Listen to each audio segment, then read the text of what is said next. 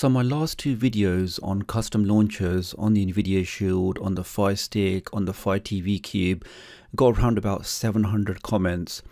Now most of those comments were positive, uh, but there were quite a few questions that people kept asking again and again and again. So, so I thought I'd make this quick video today and answer some of those common questions. Everything from how do I find new wallpapers, how do I change my background image, are widgets supported? Yes, they are, and stuff like that. So let me answer those questions now. And if you still have questions after this video, then please leave me a comment below and I'll answer it for the next video. So with all of that being said, Let's get started. If you're new to the channel and you want to stay up to date with the latest tech tutorials, the latest Fire Stick, Android and Android TV tips and tricks, then please do subscribe and hit the notification bell. It's a small click from you, but it makes a big difference to me. Thank you. Okay, so question number one. I'm trying to install the Wolf launcher on my Fire Stick or NVIDIA Shield or really any Amazon device, but for some reason when I click on install, I get the message saying application not installed.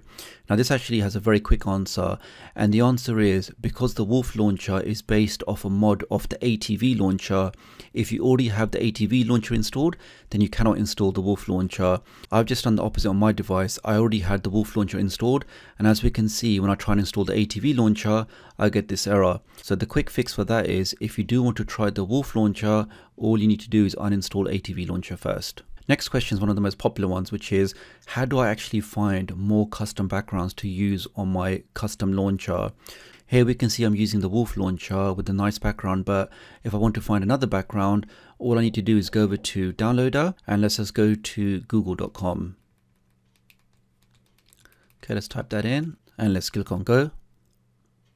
I do recommend when you get to this page, actually make that as a favorite. So if you just go to the top, click on the hamburger menu and select add the current page to favorites because it just makes the process so much easier when you do want to find more content or more backgrounds to download. Let's click on save. And let's now just search for some wallpapers. So you can type in 1080p wallpaper or 4K wallpaper. And let's just do 1080p for now. Let's click on 1080p wallpapers. Let's scroll down. Okay, so this Unsplash website is a good one. So let's click on that. Let's scroll down. Okay, we've got some nice wallpapers over here. Uh, let's just go for, let's go for this one over here, it's cloud one.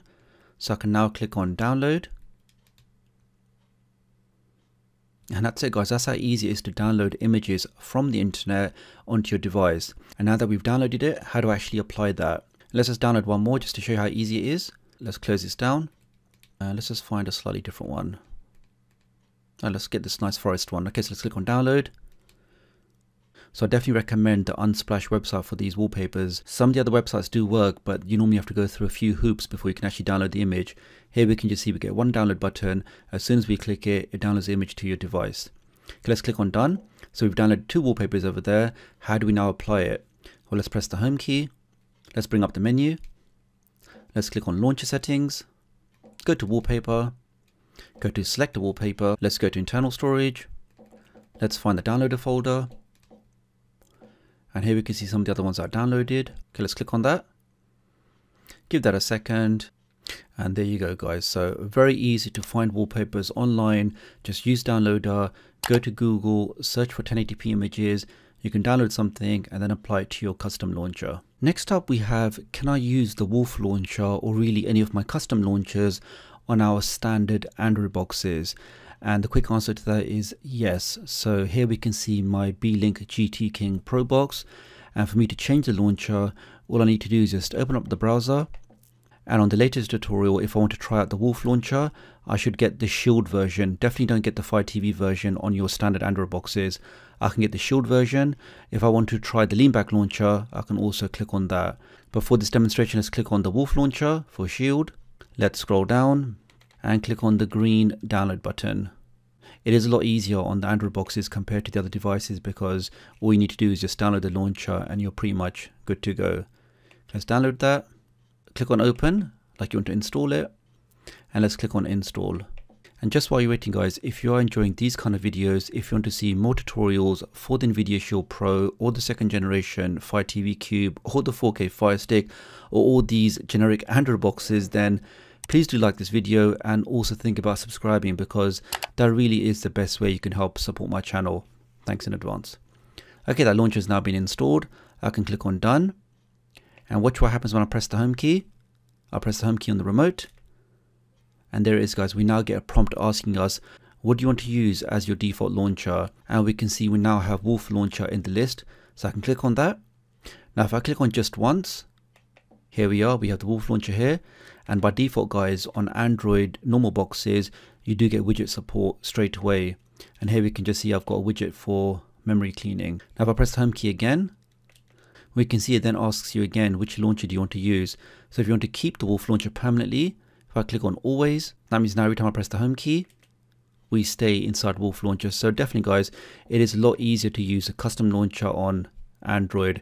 Just find any launcher from our website, install it, and the next time you press the home key, you can then choose that launcher to be your default launcher. Now quick tip here guys, how do you go back to the stock launcher? Because now when I press the home key, I can't change anything else. Well the quick fix for that is if you go over to your settings, go to more settings, uh, go to apps, go to default applications, click here, and we can see we have the home apps. If I click on that, and I can now choose another launcher. So if I go to Light Home, I now press the home key and we're back to the stock launcher. So that's how you basically get a custom launcher working on your generic Android boxes. Next up we have how do I get widgets working on my Nvidia Shield or my Fire TV Cube. Now this is going to be a two-part answer. So the first part is to give your launcher permission so you can actually use widgets on your device. And the second part is to actually install some applications which have widget support. Okay, here we are on my Fire TV Cube and this is the same process for the NVIDIA Shield. All we need to do is open up Remote ADB Shell and let's make a connection to ourselves. Let's click on connect and we're now connected. Now there's only one line that you need to type in, but to make things easier, I'm just going to use copy and paste. So if I open up my cell phone, and I'm going to use the Fire TV application which is available for Android and iOS to send that one line command into Remote ADB Shell. So let me do that now. So here we can see my phone on the screen now. I'm just going to go straight to my website which is just techdoctoruk.com, go to the tutorials page, scroll down and here we can see that the first tutorial is the use the Wolf launcher on those devices. Let's click on that. And if you scroll to the bottom of this tutorial, you should see there is a single ADB command that I'm going to copy. Uh, let's keep scrolling. Here we go, how to enable widgets. So the command starts as app, widget, and then so on and so forth. So I just press and hold that with my finger, just so I can copy the whole command. Let's scroll to the right, just to make sure we get all of it. So it ends with zero. So it starts with app widget and ends with zero. Now that's all highlighted, I can just press copy. There we go. I can now start the Fire TV application. Let me do that. Here's a Fire TV application. Now before I paste the command, if I just click on the bottom, so we can see the on-screen keyboard. So now we can see anything I type on my phone gets sent to the screen. But we don't want to type in anything, we just want to paste in that command. So if I press and hold at the top here and select paste, that's the entire command there. So that's how easy it is to basically copy and paste commands from our website or from anywhere else directly onto your device. Let's click on run press the back button and we can see we get no error. That basically means now that my device is able to run widgets with the Wolf launcher. Let's now press the home key. So that's the first part done. Now the second part is just we now need to find some applications which will give you widget support. Now out of the box on most of these devices, if you press and hold here, go to pick a widget, and here we can see some of the default widgets and we can also see these weather widgets which I've actually installed myself. Now to get these onto your device, if you bring up Aptoide TV, as we can see, it just search for weather and let's try this weather forecast. Now most of these are actually designed for a cell phone but you can still use the widgets on your device. Let's click on install. Let's go for this one over here. And there we are guys, we now have that widget working on our device. But really you can find any application which does have the widget support and get those enabled on your device. The next question was inside the Fire TV settings, what does the hardware button detection actually do? Well this in essence is how this process works that this application, this Fire TV settings actually looks out for the home press or the home button key press. As soon as it detects that button it launches your custom launcher so effectively you are just starting an application. Now as you can imagine if I turn that off, so this application is not monitoring for the home key anymore. If I click on save, and can you guess what happens when I press the home key? and we can see just takes you back to your stock launcher. So if you did want to go back to your stock launcher for a bit or you're testing something out, that's one of the easiest way you can go back. So just go into your Fire TV settings and turn off the hardware button detection. And as soon as you want to go back to your custom launcher, we can click that again, click on save. So now when you press the home key, because the application is looking out for the home button key press, it should then launch the custom launcher for you. And we can see it's done exactly that. The next question I had a couple of times, um, and it's a quite strange one, but basically they were saying on the NVIDIA Shield and on the Fire TV Cube, we do have a large sort of, you know, blank section at the top of our application list. And I personally think that looks a lot nicer as well. On the Fire TV Stick, we can see there's just no way to have that extra space. A couple of you did try this option here where you go to sections and you try to create a new section. Uh, let's just call this, uh, let's just call it test uh, just to see if we can get like a, a, nice sort of blank space at the top just so we can you know appreciate some of the background wallpaper and stuff so uh, let's just call it test for now click on apply and let's now move that section to the top okay let's click on close and there we can see although we do have a new section because it's empty we get the message saying that the section is empty so and of course that doesn't look very nice so is there a fix Yes, there is guys. So if you go back to my uh, website and on the latest version of the tutorial, make sure you do refresh the page. We can see here I've now added in a Wolf launcher for the Fire TV, which has extra space. So I know it sounds really crazy, but you guys were asking for it. So for the people that need it, this is for you.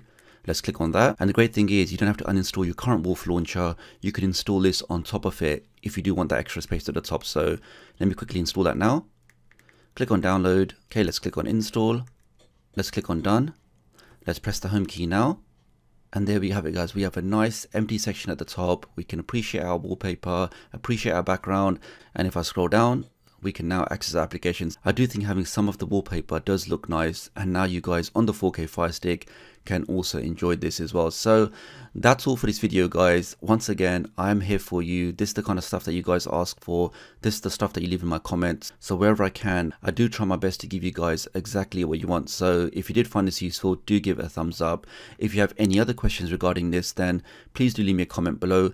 Also let me know if your question was actually answered in this video and I'll hopefully catch up with you guys real soon. Thanks.